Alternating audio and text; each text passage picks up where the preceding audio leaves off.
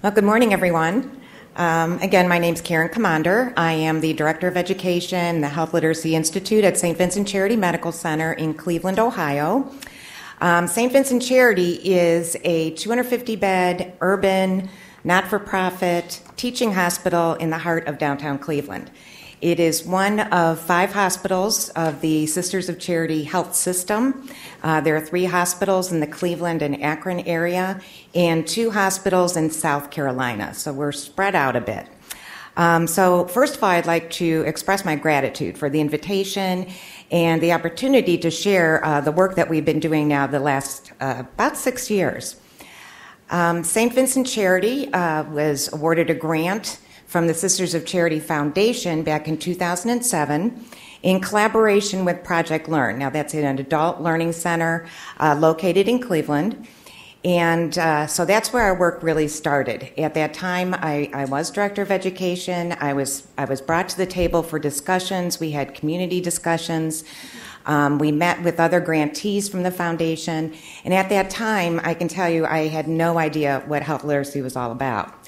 But once I started getting more information, you know, the light bulb went on. It was, you know, I, as I was introduced, I have many years of nursing experience. Um, so finally, there was a name to an issue that I always, I always thought about. Um, personally, I have three siblings with chronic illnesses, and I, am sure some of you in the room have experienced the same thing. Um, but oftentimes saying, gosh, what do other people do? You know, I'm there to advocate, to translate for them. Um, so I finally started understanding what this was all about.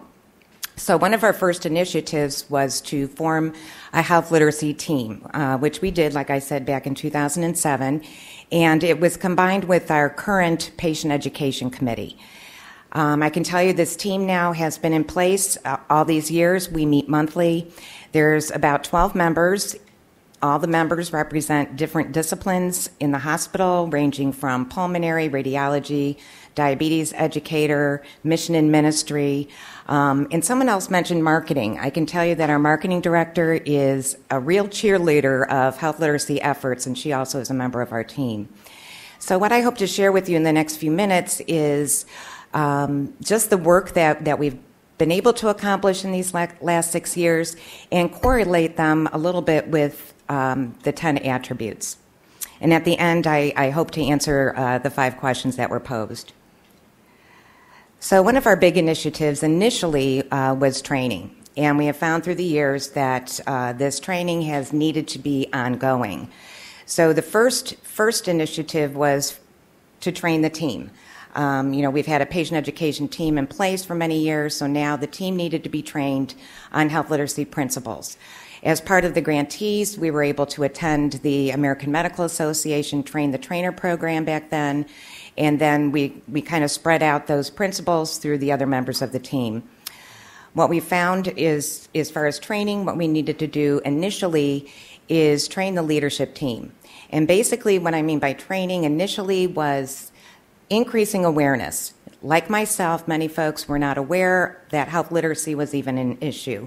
So we needed to get buy in, um, so we did train the leadership team initially. Another big audience, of course, was our nurses, our nurses and our medical residents. So, again, the teaching initially was on awareness, um, sharing some tools such as plain language and teach back. And since the beginning, our training really has evolved. Um, initially, back in 2007, a big focus was on looking at our low literate population, but as more tools became available through the years, like the Universal Precautions Toolkit, we've incorporated a lot of different uh, techniques into our ongoing training.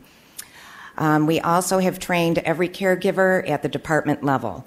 Um, we do have support from all of our department directors. Um, so Members of our team have been invited to different staff meetings in every hospital department. So again, we share health literacy principles. What does health literacy really mean? Um, we share our definition of health literacy, which is uh, not only the patient's ability to understand and act on health information, but also the provider's ability to share that information so the patients then in turn can act on it. Um, we've also incorporated uh, health literacy into new employee orientation, uh, which takes place monthly. So every caregiver that starts at St. Vincent um, gets about an hour of training in health literacy. Um, we've also expanded our training to include annual whole house competencies, so it's included for every caregiver annually, as well as our clinical competencies, uh, which are also annually. With attribute eight, we're looking at our materials, our print and AV materials. And again, one of our first objectives was to um, take a look and assess our current patient education materials. So we did a random sampling of that, and what we found was our average uh, reading grade level of our own homegrown materials was about 12th grade reading level. We also did an assessment with the vendor that we were using uh, that many of our nurses used to print out patient education materials, and we found that was even at a much higher level. Um, I'm not going to name the vendor, but we've stopped using that vendor. Uh, many of those education sheets were very, very lengthy, some up to even 17 pages long for, for one discharge um, instruction. So, right now, I can say that all of our homegrown patient education materials have been revised to an average fifth to sixth grade reading level. We are now um, using a different vendor. Uh, and they also provide materials at the fifth to sixth grade reading level. All are available in Spanish. That's a, a high percentage, not a high percentage, but a high, higher percentage of our mi- minorities um, population that visit us at St. Vincent. And uh, many of the sheets are available in multiple languages. Um, we're also looking at right now interpreter services. We just finished demoing a vendor, several different vendors, and we've decided to go with a video system because we do have a high uh, population of a deaf community. Uh, we needed the availability for translation for American Sign Language. Um, so that's in the process of purchase right now. We've also purchased uh, health education videos that are available in every inpatient room. Um, and we do have a, a, content guide. All of the nurses have been trained on this to encourage their patients to uh, look at the the guide. If, for example, if a patient's going for a cardiac catheterization, the nurse will go in and talk to the patient about that and encourage them to view these videos. Another uh, big piece of the work that we've done is involving the adult learner students from Project Learn. So they really have been um, involved a lot in our different focus groups. Um, they were involved in when we started development of our own print materials. We would bring them on board to have them take a look at it, see does this make sense to you, and we would revise until it did make sense. Um, we also utilized the adult learners uh, students for a navigation tracer. Um, so what we did was we invited these students to come at three different occasions and we met in the front lobby and what we asked them to do was to go find a department. So we would say please go find C, uh, cat scan um, radiology and then we then would find uh, meet them at their final des- destination to find out how difficult or easy was it for them to find their way and what we found was that our signage was not all that great uh, they appreciated the help of the other caregivers, but they said the signage really didn't make sense. So, based on that, in the support of uh, senior leadership, we held further focus groups with these adult learner students. We met with them with a list of all of our departments in the hospital and asked them what our sign should read. So now instead of radiology, our sign says x ray. Um, we also have an increase in a Spanish speaking population. So when we went to our new signage, Every sign um, also was written in Spanish. Uh, what I found was interesting, and someone mentioned sometimes, you know, language may be benign but not make sense. And that was a big lesson learned for myself. Uh, one of the students, when we were talking about the admitting department, uh, they said, Well, if that's a place you tell me where I go to check in to get blood work and I'm not being admitted, why do you call it admitting department?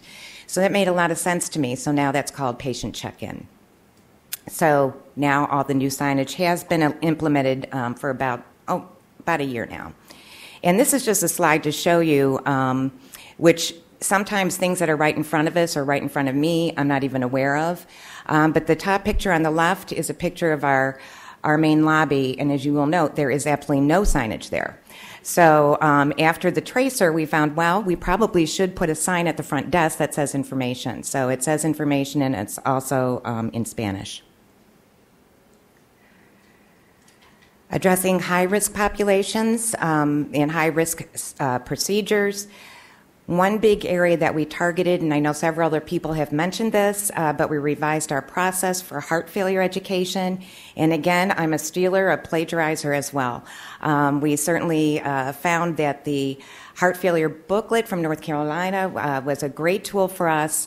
Um, and uh, assessing the response from our patients, we found that it, that it is working pretty well. Um, we, we've also revised how we ask the questions and incorporated changes into our computer documentation for the nurses so that we do follow um, a guide of assessing for knowledge, skills, and attitude. So, for example, on day one, the nurses address uh, the teaching based on knowledge. Day two questions, the questions are reformatted basically covering the same information, or now we're looking at skills. And then finally, on by day three, we're looking at the attitude. So all of the information is the same, but the questions are reframed. Also, with heart failure education, now we have involved our pharma, clinical pharmacists. Um, they come up and do a lot of the medication teaching with our patients. They're present at discharge to go over med- medication reconciliation with the patients, and they also perform callbacks. So when the patient, after the patient is discharged, the pharmacists do call back these uh, patients to ask them how well they're doing with their medicines, what questions do they have, how are they doing with their diet, are they able to weigh themselves.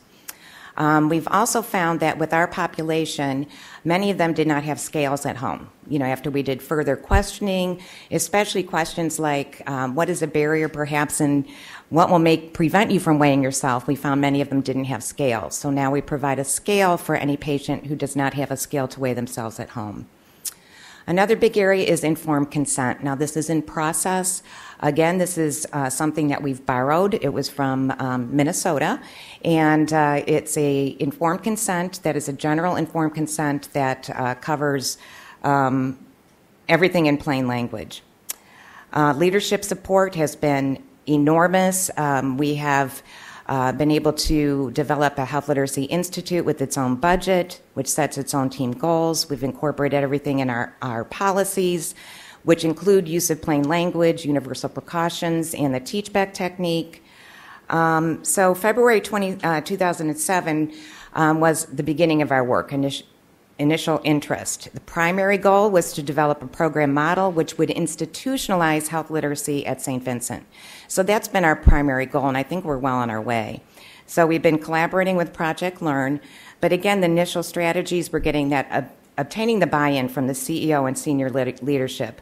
Um, we've had a changeover of administration two or three times, and each time sharing the stories, the personal stories, showing the statistics um, really have made a difference. Um, I've already talked about the policy re- revision, uh, three administrations, supportive de- department directors. They all understand the importance of health literacy and are really supportive in all of our work. Barriers basically is staff time. Um, we're a small department. It's one hat that I wear uh, for whole house uh, education. Um, so having more time uh, to do health literacy work would be great. Another major barrier is um, lack of buy in from the attending physicians. So that's our big next target audience uh, to get going on this. Sustaining changes, um, like I've mentioned, we've included it in orientation monthly, mandatory annual competencies, ongoing conferences. Uh, in 2012, we did put on a uh, conference series. So we put on four different short workshops, writing for easier reading workshops, and that all culminated in our October Health Literacy Month inaugural Ohio Health Literacy Conference, where we were able to get about 200 attendees. Um, of physicians, nurses, wide array of disciplines. Um, we've also done several annual Health Literacy Month events where we involved community members. And um, we've been adding to our website. And since we've had our conference in October, we've initiated a blog on our website so that we can continue the conversation. We're reaching out to other institutions now to broaden our work. Uh, we really believe in collaboration and partnership. So that's one of our primary goals. Finally, uh, to s- sustain our work, um, this is a graphic that our team devised and it incorporates five steps to better health literacy. Um, and this graphic we have laminated and posted in every department in all of our healthcare clinics as a daily reminder um, for all of our healthcare providers to incorporate these principles in all of their communication. So with that, I thank you.